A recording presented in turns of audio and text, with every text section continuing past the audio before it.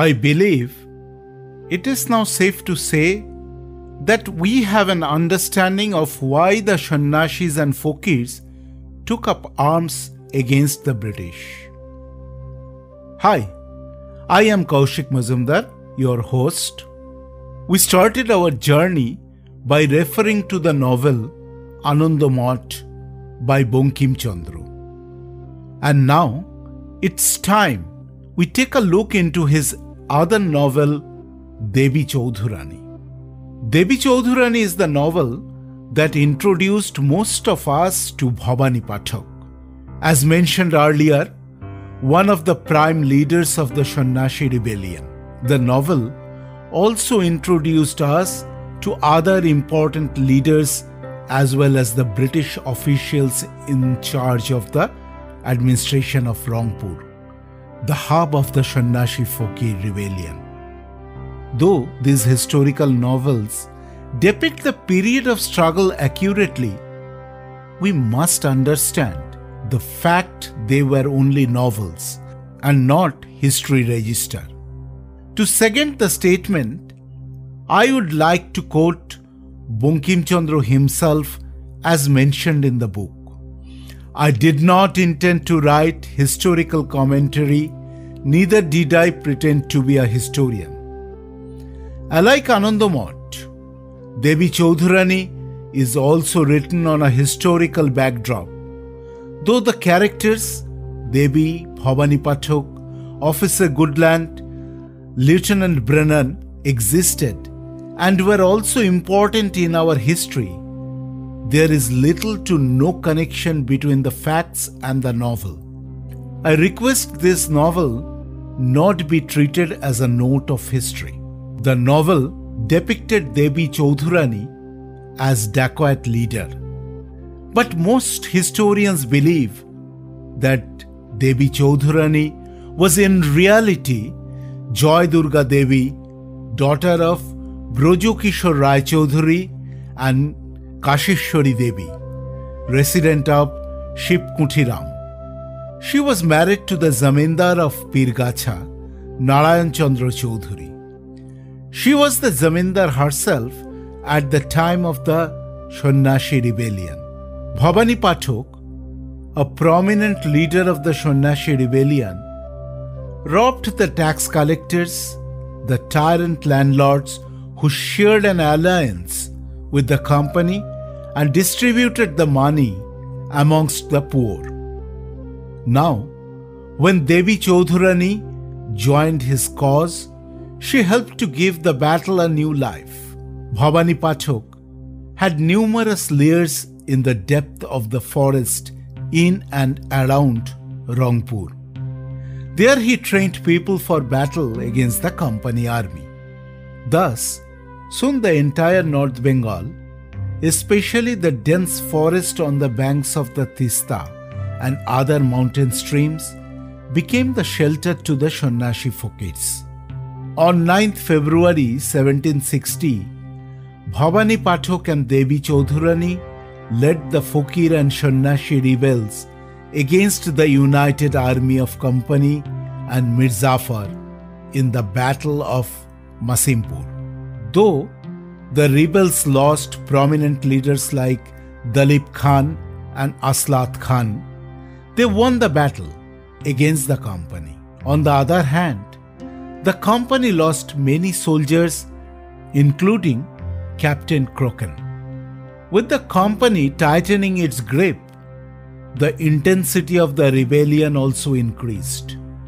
On 30th October 1766, Majnu Shah led the rebels to another important win against Captain Rennell and Morrison and established reign in Dinhata, Kuchbihar. The company army once again lost the battle near Patna in 1767. During the period from 1770 to 1772, a large part of Bihar and Bengal turned almost into a war zone. The rebels killed Captain Thomas on 30th December 1772 and Captain Edward, along with his army, on 1st March 1773 in the Battle of Madhupur. The very same year in December, Majnu Shah with his army of 700 Fokirs moved his base to Mesida in Dinajpur and took control of the area. Three years later, in 1776, at Bogura, Majnu Shah built a fort that soon became the heart of the Shannashi Fokir rebellion in Bengal.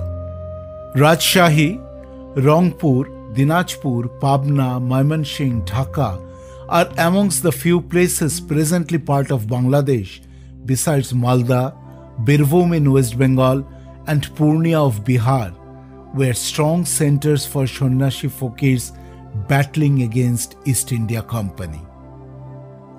Now, it did not take long for Governor General Warren Hastings to figure out that the villagers, even a few small landlords, had been supporting the Shonnashis and Fokirs. So, to prevent it, he imposed new laws restricting the villagers from providing any support. He declared anybody found to be doing so or not informing the administration any news about the rebels would be labeled as criminals and the offender would be enslaved.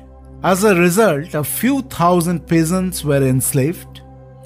In some villages, peasants charged with criminal offences were hanged at the center of the village, and their bodies were left hanging from trees to instill fear in others. At that time, anybody arrested on suspicion of helping Shannashi Fokirs were hanged without even a trial, and their families were enslaved for life. Initially, such brutal measures by the East India Company helped to stop the revolts for some time. But the urge for freedom kept thriving in people's mind. They silently started preparing for war unnoticed. In 1751, Majnu Shah set up his base in Madhupur forest of Tangail. But in 1782, his men lost to the company army in Alap Singh Pargana of Maimansingh. In 1783, the entire Rangpur woke up to a widespread revolution under the leadership of Nuruluddin. With the support of the collector Goodland, the tyrant Zamindar Devi Singh and his employees extorted the people extensively and tortured them mercilessly. The common people were tortured so much that they did not have any other option but to fight back for revenge. The peasants, led by Nuruluddin, were joined by Shannashi Fokirs in the area. The collector had a unit of soldiers at his service. Another battalion, headed by Captain MacDonald, reached Rangpur with cannons. They killed everyone they saw, burned down villages, women and babies, none were spared. Enraged by the ruthless torture, revenge thriving through their veins, many more joined the ranks of the rebels. They adopted guerrilla warfare against MacDonald's army. While the company army was far better equipped with arms and ammunition, the rebels had the advantage of the knowledge of the terrain. Both sides lost many men. It is believed that Devi Chaudhurani was killed in one such battle near Pirgacha in 1783. Though this fact was never proved, some historians, on the contrary, believe that after the death of Bhavani Pathak, she dismantled her army and left the warfare. On the other hand, in 1785, Majnu Shah's men proceeded towards Mahasthangarh, but they were defeated by the British army. To top it off, next year in December, the Shannashi Fokirs suffered a big defeat against Lieutenant Brennan's army in the fierce battle near Kaleshwar in Bagura, though it was never confirmed, it is believed to be Majnu Shah's last battle. Historians believe that a lot of Majnu Shah's followers, including Bhavani Pathak, were killed by Brennan in this battle. Majnu Shah was severely wounded on the battlefield, but to make sure his followers don't give up, the news was hushed up. In January of 1788, Majnu Shah succumbed to his injuries in Kanpur. In the war reports by Brennan, there was no mention of Devi Chaudhurani or any other female leader. Though there is little to no mention of the last life of most of the prominent leaders of the Shannashi Fakir rebellion. This rebellion spread like a wildfire across the country. The Shannashi Fakir rebellion failed due to a lack of next in line leadership. But the fire thus ignited in those four decades from 1760 to 1800 have inspired numerous peasant uprisings in India's pursuit of independence. But do you know what the saddest part is? We grew up learning our history from British reports. There has been no one to tell our side of the story According to these reports, anyone who shot freedom was branded a terrorist, a dacoit.